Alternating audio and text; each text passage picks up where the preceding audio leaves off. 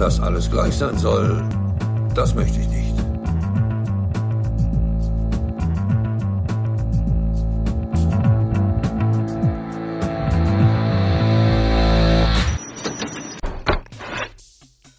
Herzlich willkommen zur 31. Folge der Philosophentrilogie Abstraktionen, Nominalismus, äh, Sprachkritik. Beim letzten Mal wollte ich eigentlich bei der Nummer 132 äh, weitermachen, aber es äh, ist die Nummer 161 noch gar nicht wirklich besprochen, wie ich dann im Nachgang feststellen musste. Und deshalb werden wir jetzt hier gleich nochmal einsteigen, um äh, diese Eingangsformulierung äh, etwas, äh, etwas genauer unter die Lupe zu nehmen was hier eigentlich gemeint ist. Wir, es, äh, ich spreche damit auch äh, noch ein anderes Thema an, denn äh, diese Problematik findet sich auch in allem, was mit Dialektik zu tun hat. Dergleichen Ambivalenzen äh, sind auf den ersten Blick scheinen etwas logisch tricky, aber wir werden gleich sehen, wie es sich damit äh, verhält. Also das Dreieck, welches weder gleichzeitig noch ungleichzeitig und doch alles zugleich ist. Also nur Gleichzeitigkeit allein macht noch kein Dreieck und auch nicht äh, Ungleichzeitigkeit. Aber das Dreieck ist äh, eben zugleich beides äh, gleichzeitig und ungleichzeitig in seiner Verallgemeinerung. Also das allgemeine abstrakte Dreieck, das abstrakteste Dreieck, das es gibt, ist äh, weder gleichzeitig äh, noch ungleichzeitig, aber eben in, einem, in einer bestimmten Form ist es äh, in einer weniger abstrakten Form als bestimmteres Dreieck ist es dann doch äh, gleichzeitig. Und wenn man das Ganze als äh, höhere Abstraktionsebene betrachtet, dann äh, ist, äh, tritt hier auch eine ganz andere Art von Logik in Kraft, beziehungsweise äh, Ober- und Untersätze dann ist dieses allgemeinste Dreieck äh, ungleichzeitig und gleichzeitig zugleich. Genauso verhält es sich mit der Vernunft. Die ist äh, in, einer bestimmten, in einem bestimmten Abstraktionsgrad äh, gleichzeitig subjektiv, äh, weder äh, subjektiv im Einzelnen noch objektiv im Einzelnen, sondern eben beides zugleich, wenn man die höchste Form, äh, eine, ja, muss gar nicht die höchste Form sein, aber zumindest eine Abstraktionsstufe darüber äh, das Ganze äh, betrachtet, dann hat man es mit einer Vernunft zu tun, einer höheren Vernunft sozusagen, die, die beides beinhaltet, subjektive Vernunft und objektive Vernunft. Wobei äh, diese, dieses Zusammenwürfeln jetzt auch wieder auf einer überholten Logik beruht, da sich ja äh, Objektivitäten jetzt mal von Beispielen aus der äh, Mathematik oder Geometrie in dem Fall ausgenommen, die ja äh, in vollem Umfang konstruierte Angelegenheiten sind, und deshalb auch äh, diesbezügliche Widersprüche in diesem Fall keine Rolle spielen, ist, äh, ist jetzt hier, äh, wird jetzt hier diese Art der Logik, also äh, in, äh, in der formalen Logik handelt es, handelt es sich da um eine sogenannte Kategorienverwechslung. Wenn man von einer Ebene auf die andere springt, und der Widerspruch entsteht dadurch, dass äh, einmal die eine Bedeutung und das andere Mal die andere Bedeutung äh, in Gebrauch oder angesprochen ist. Es handelt sich also eigentlich um keine Absurdität äh, in dem Sinn, sondern einen, lediglich um einen logischen Fehler und hierbei ist dann auch nicht die, die Lösung der Probleme ist hier auch nicht angesprochen. Äh, Schießel spricht hier nur die Widersprüchlichkeit der einer formalen Logik an, äh, die in ihrer Formalität äh, auch äh, Widersprüche beinhaltet. Allein schon dadurch ist jetzt gar nicht die verschiedenen Abstraktionsebenen, sondern schon dadurch, dass man in dieser Logik endlos nach irgendwelchen Ursprüngen fragen kann, ohne auf einen grünen Zweig zu kommen, das heißt ohne sich dann wieder im Kreis zu drehen, weil auf die letzte Frage einer Woher, Ursprung, Kausalität äh, gibt es keine äh, Frage außer der, dass man dann eben ein, einen Bretterzaun annehmen muss, äh, mit dem das Universum vernagelt ist oder dergleichen äh, fast schon äh, ins Religiöse gehen, Erklärungen wie dieser Urknall, das hier ist, besteht keinerlei Denknotwendigkeit, hier ist die Denknotwendigkeit eher eine solche der, der Gewohnheit, dass äh, rationalistischen Gewohnheit, dass man glaubt, für alles eine Erklärung finden zu können. Das ist das Zeitalter der Vernunft, des Rationalismus, äh, zuletzt in der sogenannten Aufklärungszeit im 18. Jahrhundert äh, schwer vorangetrieben aber leider ein Irrweg in der Verabsolutierung, völlig falsches Bild, Weltbilder ergeben. Und äh, wir verfolgen nochmal Schießel nochmal weiter, wie man sich mit solchen Phrasen zu geben und zu, zufrieden geben und für die höchste Weisheit auspreisen kann, ist fast unbegreiflich. Äh, ja, es ist relativ. Äh, diese Unbegreiflichkeit äh, ist immer wieder abhängig von der entsprechenden Erziehung oder Ausbildung einer Ur Ur Urteilskraft. Äh, und damit ist es nicht zum allerbesten bestellt. Und wen wundert es, wenn soll dieser logische Zirkus da alle möglichen Anhänger findet? Oder noch schlimmer, jemand überhaupt nicht mehr zugänglich ist für irgendeine eine Widerspruchsfreiheit oder für das, das, Auffinden von logischen Widersprüchen. Aus Zeiten, wo man mit, mit Gewalt den Olymp der Wahrheit erstürmen wollte, dies, dieser typisch Ide typische Idealismus äh, der rationalen Aufklärung, im Grunde genommen ein Optimismus, der schließlich dazu geführt hat, die Leute in irgendwelchen Träumen zu wiegen und äh, diese Gewohnheiten, sich im Tra Traum äh, zu wiegen, wurden dann äh, nahtlos übernommen von der modernen Kommunikationstechnik, sodass sich im Grunde genommen wenig geändert hat am Verhältnis derjenigen, äh, die, die, die Bestimmer sind, wie es äh, neuerdings heißt, und die anderen, die Befolger ganzen Angelegenheit. Die einen, die die Freiheiten haben äh, für alles Mögliche und die anderen, die sich ihre kleinen Freiheiten an jeder Ecke abknapsen müssen.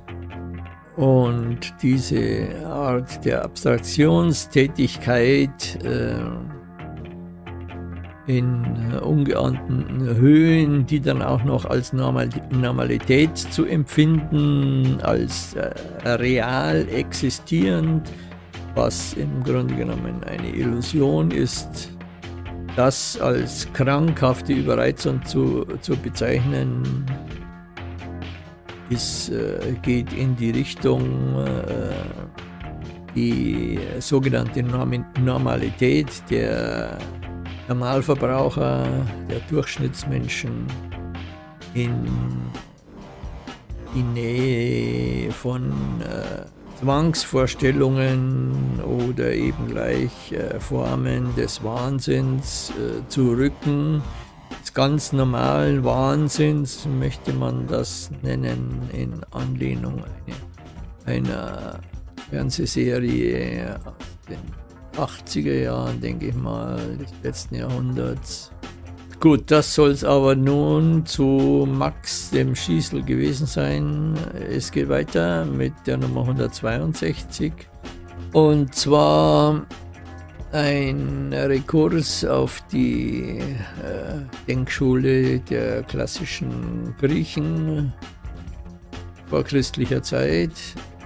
Das heißt, die unmittelbar erfahrene Welt der Sinnlichkeit ist das Reich des das Heraklit, und zwar das äh, Heraklit von Ephesus mit seinem berühmt-berüchtigten Bonbon äh, äh, alles fließt.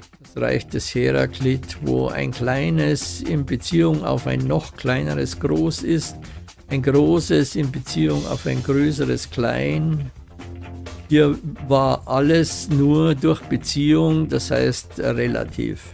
Und äh, die Denk darauf folgenden Denkschulen, äh, besonders äh, Aristoteles waren da und auch Platon, der noch schlimmer als Aristoteles die Identität der Begriffe des Seins mit der Realität behauptete, dass äh, eben nur äh, Ideen real sind, war Aristoteles einer der ersten großen Identifizierer, äh, die dann mit diesem Beziehungsquatsch, wie man, man damals dachte, Schluss gemacht haben. Im Nachhinein betrachtet ein Fehler, eine Fehlentwicklung, die über 2000 Jahre dauerte und immer noch andauert, nachdem sich die Kirche äh, den Aristoteles angeeignet hat und dessen Methoden ist es nur allzu verständlich, wenn in jüngster Zeit der deutsche Papst, Kardinal Ratzinger Benediktus, der befehlte, weiß ich nicht, in, mit, mit enormer, äh, enormer Motivation auf, die, auf die, das Verderbliche am Relativismus hingewiesen hat, äh, der durch seine Beliebigkeit glänzt, was aber auch äh, einem Vorurteil entspricht, denn äh, diese Art von Relativismus und Beliebigkeit der Standpunkte ist natürlich äh, verurteilenswert. Ein Relativismus, äh, der in dem Sinne äh, betrachtet wird, dass äh, zwar die Standpunkte relativ sind in Bezug auf einen Standpunkt an sich oder einen höchsten Standpunkt oder einen allgemeingültigen Standpunkt, äh, äh, das ist unbestritten aber es gilt auch, wenn ein, ein Standpunkt einmal eingenommen ist von einem Einzelnen, dann sind äh, auch die Perspektiven festgelegt, so dass äh, die Beliebigkeit, äh, eine Beliebigkeit nicht stattfinden kann, ähm, sondern vielmehr ein eine Folgerichtigkeit ohne, äh, zumindest sollen es keine bewussten Widersprüche sein, stattfinden kann. Jetzt geht es äh, nochmal zurück, kann man nicht sagen, oder doch, zum Nominalismus. Ockham, äh, der noch äh, bekanntere Spruch, eine Vielheit darf nicht gesetzt werden, ohne dass es äh, notwendig ist. Äh, sein Spruch zur Denkökonomie ist ein, eine Absage an Verallgemeinerungen, die gesetzt werden, äh, indem man eine Vielheit äh, unter einem allgemeinen Begriff befasst, ohne dass es notwendig ist. Spricht eigentlich für sich, dass allgemein äh, umso allgemeiner eine Abstraktion ist, umso leerer muss sie sein, umso unspezifischer und auch äh, umso desto wenig aussagekräftig. Und schon geht's weiter. Es könnte sein, die Nummer 164, dass eine Beschreibung unvermerkt allerhand ähm, hinzutut, oh, eine unbeabsichtigte Formung oder Beugung soll das heißen, des Gegebenen enthält und so hinterher, indem sie fälschlich als eine reine Deskription unbesehen hingenommen wird, uns etwas als gegeben behaupten lässt, was es tatsächlich nicht war. Äh, also die Sache mit den Gegebenheiten äh, aus äh, aus Prinzipien der Erkenntnislehre von Ernst von Aster. Äh, und er äh, schreibt hier, dass es eine beschreibt, dass bei einer Beschreibung unvermerkt, also unbewusst, allerhand hinzugetan wird. Eine unbeabsichtigte Formung und Beugung des Gegebenen, äh, die allein schon dadurch entsteht, dass eben Allgemeinbegriffe verwendet werden, die niemals das Gegebene treffen, weil das Gegebene als formloses äh, viel zu viele Möglichkeiten bietet, äh, seine Aufmerksamkeit hier und da zu richten, sich äh, einen Fokus zu setzen auf diese oder jene Angelegenheit. Und äh, allein durch den äh, Gebrauch der Sprache wird fälschlich eine reine Deskription unbesehen genommen, also geglaubt. Geglaubt, dass Wörter eins zu eins auf Sachen übertragbar sind, ist, äh, ist gleich reine Deskription. Also der Sprachaberglaube, dieser begriffliche naive Realismus, und damit äh, wird äh, eben als gegeben behauptet, was tatsächlich nicht gegeben ist. Und darüber hinaus möchte ich äh, gegen Aster noch behaupten, dass dieses Gegebene nicht beschreibbar und auch nicht in einem logisch allgemeingültigen Sinn existiert.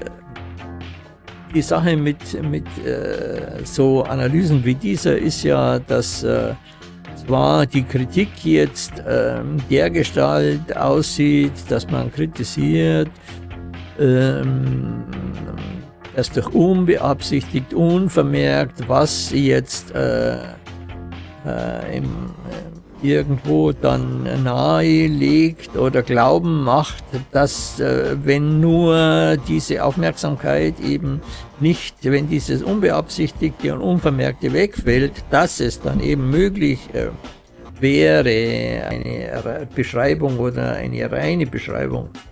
Und das ist eben die, die, der, der Optimismus oder der Idealismus, der äh, die Illusion, die nicht die jeder realen Entsprechung in Anführungsstrichen äh, entspricht. Gut, es geht weiter. Ähnlichkeit liegt im Begriffsbereich, nicht im Wahrnehmungsbereich. Das ist jetzt auch wieder missverständlich, denn im Begriffsbereich liegt diese Ähnlichkeit nur insofern, als der Begriffsbereich zugleich auch der Urteilsbereich oder als Urteilsbereich betrachtet wird. Also Ähnlichkeit ist ein Urteil, äh, eine, eine logische Bestimmung, eine Zutat, äh, etwas, das aus dem Verstand kommt und nicht jetzt äh, als Eigenschaften irgendwelchen Gegenständen innewohnt, wie das im natürlichen Bewusstsein geglaubt wird. Ähm, äh, äh, egal was das ist, ob jetzt Ähnlichkeit, Gleichheit, Identität, äh, das alles wird nicht wahrgenommen, sondern das wird geurteilt äh, von vielen Menschen aufgrund einer falschen Erziehung unbewusst äh, durch Übernahme von irgendwelchen Gewohnheiten äh, als schon in jungen Jahren gelerntes, äh, in den Erfahrungsbereich übergegangenes, äh, irrtümliches, das durch eine erneute Bewusstmachung dann wieder zurück äh, in den Bereich der Vorstellungen dessen, was äh, subjektiv ist, das heißt in den in den äh, Bereich eines Subjekts, eines Bewusstseins gehört und dementsprechend auch beeinflussbar ist, ähm, nicht äh, im Vorhinein festgelegt, dass es äh, nur hier, äh, also äh, denknotwendig, äh, die Dinge so sein, so sind, wie sie sind und nicht anders von sich aus. Es ist die, der, der grundlegende Irrtum, der zu einer völligen, äh, zu einer, äh, wenn man das äh, wirklich durchdekliniert in den verschiedensten äh, Bereichen, äh, in denen dieses Prinzip äh, Platz gegriffen hat, in, in den verschiedensten Wissenschaften, kann man das durchaus als eine kopernikanische Wende betrachten. Mit äh, äh, im, äh, in einem Atemzug mit der, den äh, Bestrebungen des Relativismus, äh, ausgehend von Einsteins Relativitätstheorie, aber auch nicht äh, dieser, dieser, diese naive Reali äh, äh, Relativität äh, gemeint, sondern eine durchgehende Bezogenheit, eine Notwendigkeit der Bezogenheit und auch ein äh, in erster Linie Aufmerksamkeit äh, verwenden auf die Bezogenheiten im Denken und deren äh, Begründung, die dann nicht mehr logisch vonstatten geht, sondern letztlich äh, auf einem ethischen Gebiet stattfindet. Heißt jetzt nicht, ich wiederhole mich, dass deswegen die Logik keine Rolle mehr spielt. Ähm, es geht nur darum, dass die Ausgangspunkte, die Prämissen, die Axiome nicht äh, von einer Logik bestimmt oder festgestellt werden können und damit auch nicht äh, allgemeingültig und objektiv eine, Roll, äh, eine Rolle spielen.